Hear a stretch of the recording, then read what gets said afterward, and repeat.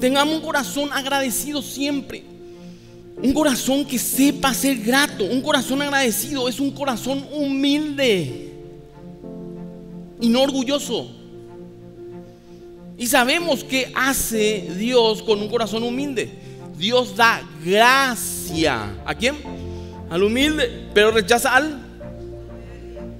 Un corazón agradecido tiene la capacidad de reconocer que alguien o Dios fue de bendición para su vida.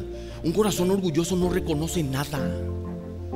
Y yo no sé usted, hermano, pero yo necesito la gracia de Dios en mi vida todos los días. La gracia significa regalo inmerecido. Todo lo que tengo es por gracia. Regalo inmerecido.